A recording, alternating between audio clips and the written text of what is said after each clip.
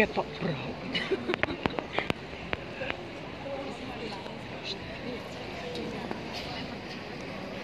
Tepuk tangan sekali lagi untuk SD Pak